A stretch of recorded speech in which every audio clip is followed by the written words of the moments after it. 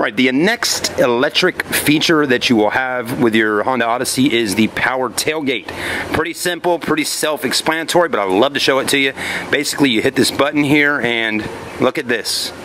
Okay, well, Again, don't just click it one time. Hold it down for about two seconds or so, and the uh, power tailgate will open right up. Pretty simple.